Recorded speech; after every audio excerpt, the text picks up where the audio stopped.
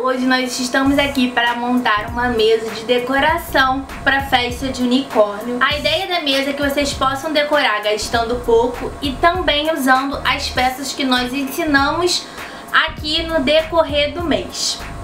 Nós vamos começar usando esse fundo de parede que eu ensinei pra vocês como que faz. Eu vou usar três pra decorar aqui a minha mesa, porque a minha parede ela é baixa. Mas aí na casa de vocês, vocês usem a quantidade necessária pra preencher a parede toda do fundo da mesa.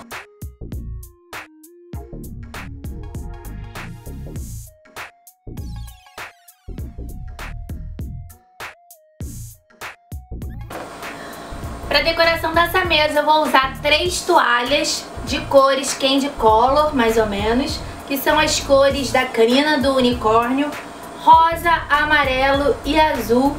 E aí eu vou dividir essas cores do tamanho da mesa.